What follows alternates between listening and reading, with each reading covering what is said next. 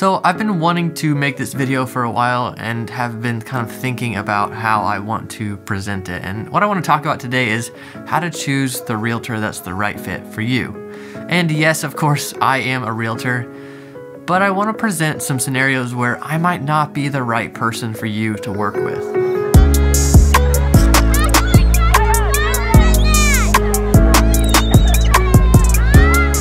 And of course, you might even be questioning like, hey, it's 2022, like, do I even need a realtor? Like, isn't there an app for this? Isn't there some way that I can do this myself? Can't I just watch YouTube videos and figure it out? And all of those questions kind of have the answer yes. And all of them have very different solutions of how you would solve that problem, but there are solutions out there. I do feel like it's up to me, it's up to people in my industry to change the cliches associated with what it means to be a realtor or a real estate agent. And what is the difference between those two? It's actually just belonging to this one little group that you pay dues to to be a realtor. So the distinction doesn't matter too much. Some people might think that realtors are similar to used car salespeople. They're just trying to sell you something. They're trying to sell you something used. Most houses are pre-existing. So since I've been in this position about two years now, I've spent a lot of that time asking the question, how can I do this differently than it was presented to me? And maybe that's because I'm in my 30s, which I'm still considering young, even though like suddenly my neck hurts randomly after holding my kids in, in some weird position. But since I am young still, I'm questioning all the time, can I do this differently? Can I do this differently than my dad would think of it? Or can I do this differently than I perceived it as I was growing up? And I do it differently in a lot of ways. Here I am making YouTube videos. I'm wearing a t-shirt. This is typically what I wear when I meet with clients. I mean, I am in Florida, it's hot here, so I'm not, that's not too uncommon to dress pretty casually.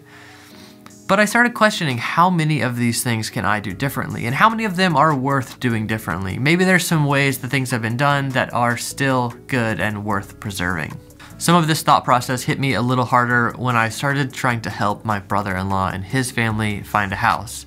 So for a long time, they were living in Manhattan as what you would call dinks, dual income, no kids, which is a very unique position to be in, to have two well, good paying jobs, to be able to live in a big city. That's a really unique experience. Then they had their daughter, who's just a couple months younger than my daughter, and that changed some things, obviously. Then skip ahead about two years and they had a second kid on the way. They decided to move down here to Florida and we kind of moved to this area at the same time. They wanted to be closer to family. Their city was kind of shut down in the midst of the pandemic. They moved here kind of as a safe haven for a little bit and then decided to make the move permanently. And then at that time, my brother-in-law referred to himself as a Henry, high earner, not rich yet. So even though he had this great job still in Manhattan, able to do it remotely, when it came to the process of buying a house or the benefits or downsides of owning a house, he was clueless. And sometimes I do think using a realtor is kind of like using a mechanic. Like there's a lot of things on your car that you can fix yourself. And there's another layer of issues with your car where you could watch a video or call somebody and figure it out with a little bit of help then there are other times you need a mechanic. The reason I think we go to people like mechanics isn't because we hate working on cars, it's because we need someone to solve a problem for us. And they solve it so much faster than we could. It takes less time, less money, less of everything for them to solve the problem. And that is what a realtor does. Because we are reading these contracts all the time, because we're making offers and missing on houses and making offers and getting accepted and negotiating inspections and doing all of this process. We're talking to lenders and title companies and appraisers. We're doing all of this very, very often. It becomes second nature for us. We can solve a lot of these problems very, very quickly with one simple conversation. And we're not having to ask questions to understand all the backstory. But we all know those mechanics who when you go in and take your car and then they call you and tell you what's wrong with it, there are some of those that give you the big list that kind of make you feel like it's your fault that your car's having a problem. Or maybe that's the dentist that I'm thinking about. But there are those mechanics that kind of talk down in the midst of that process. They talk down to you as the customer. And this is where realtors have to set themselves apart. It's still our job to keep our clients extremely informed and comfortable and financially protected in the midst of these big transactions. But sometimes it's even hard to think of it as a big transaction because I've bought and sold houses and I do it for other people all the time.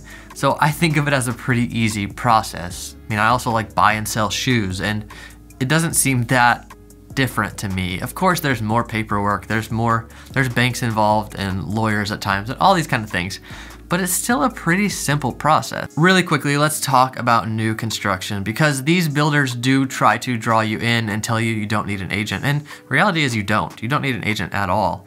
But let's think about why they don't want you to have an agent. So a typical commission for a realtor is about 3%, sometimes a little bit less.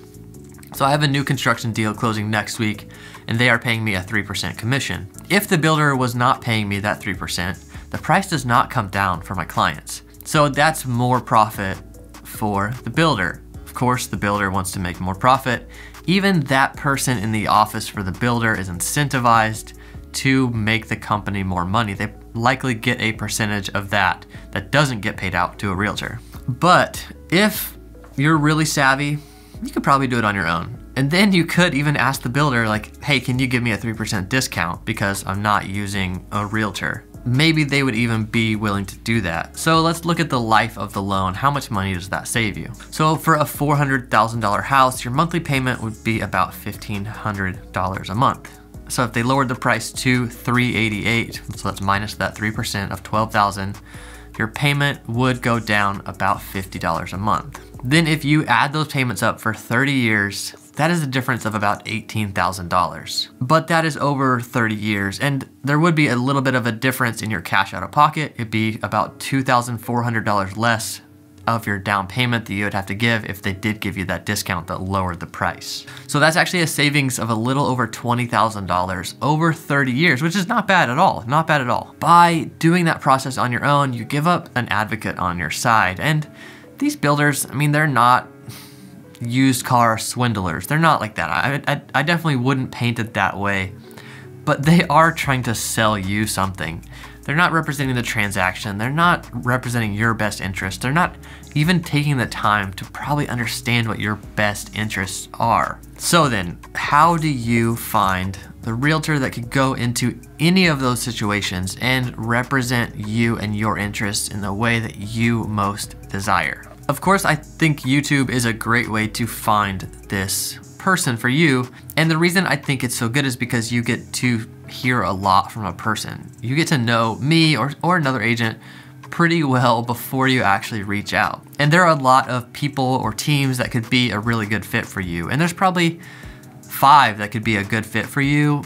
And they're all probably pretty similar to each other. And and maybe this fit isn't even that big of a deal. Maybe you don't even care. Maybe you just want somebody to find the best deal, negotiate the hardest, do exactly what you say, and move on. If that's what you want, I'm probably not the right fit for you because we like to do things a little bit differently. So I have one other agent that works with me right now and we talk every day about being very client focused, about being able to work for clients instead of work for ourselves. And the reason that we care about this is because it just feels better. And yeah, maybe that's kind of um, idealistic, but why not be idealistic when you can? We like this approach because we actually feel more relationally connected to our clients in the midst of the transaction. It's not so sterile. We're thinking, what are their best interests? Do I need to convince, like, try to get them to walk away? Do I need to try to get them to rent for now? Whatever it is, when we when we get to have this approach, we feel very good in those interactions. So really quickly, what kind of client is probably not a good fit for me and Ben right now in March 2022? If you expect us to dress up, we're probably not the right fit for you. If you are always complaining about you wish they would have done it like like like they used to back in the day, we're probably not the right fit for you. One time I was showing a condo to a client's grandfather. So the client was the grandson. His mom had contacted me, and then her dad had come down from a different town to see this property for all of them. And I met them there, it was really short notice and made it work, but I didn't have a printout. And he complained that I didn't have a printout, and he's like, Where is it? And I said, oh, I, I didn't bring that. I, you know, this was really short notice, had to make it work. And he like shook his head and he said, I, I miss the way realtors used to work and just walked away. I was like, oh, okay, it's probably not a good fit. And it wasn't. They moved on and found a different agent. That's fine. Another kind of client that wouldn't be a good fit for us is someone that thinks we have all the answers. We are more than willing to admit that we don't know things at times and we are willing to go seek out the answer. But if you expect us to know the flood zone map, we don't know it. We don't have it memorized. It's not that simple but we are willing to find all those answers for you and support you in the process. The way that I like to define our approach here at the Living in Tampa team is as problem solving consultants. The reason I like to define it this way is because we get paid if we solve the problem. Anyone that solves the problem of finding you the house at the right time at the right price gets paid. That's what it takes to deserve a commission in this business. And if we're not able to solve your problem, we don't deserve that. So it's one reason I don't have people sign buyer broker agreements or anything like that. I don't like that. And I don't want to think of our job as just a salesperson because having that approach, then we're always just trying to sell. We're, you're coming to us, you're saying, I want to be under contract on a house. So our objective is to get you under contract on the house that fits your criteria. Our job is not to sell you something. I know this video ended up being a little bit rambly, but I wanted you all to just know some of my perspective of the real estate industry, how we like to approach working with our clients, and how we are building this business.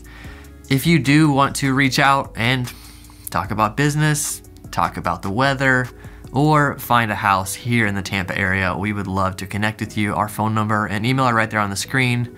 We are reachable all the time. We are most reachable through email and text. If you call and leave a voicemail, we will get back to you, but sometimes it takes a couple days. Again, thanks for coming by.